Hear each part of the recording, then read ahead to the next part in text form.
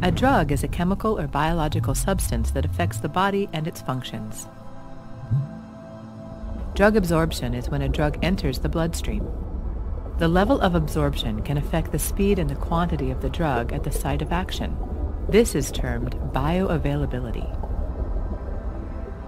If a tablet releases the drug quickly, blood levels may become too high, whereas slow release may result in low levels of absorption.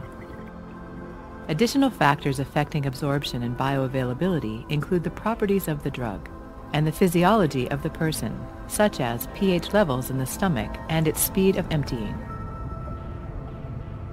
Therefore, specific formulations are used to release the drug at the desired speed.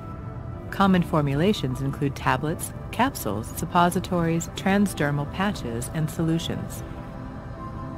Drug metabolism is the process by which the body breaks down drugs which mainly occurs by means of enzymes located in the liver.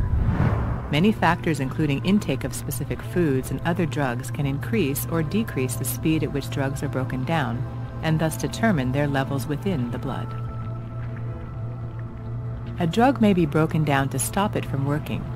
However, there are other drugs that need to be broken down or modified before they become active. These are known as prodrugs. Some drugs are directly eliminated from the body by the kidneys in urine. For this to happen, the drug must be water-soluble. Drugs that are not water-soluble may be metabolized by the liver or enzymes in the blood into breakdown products that can be eliminated in urine.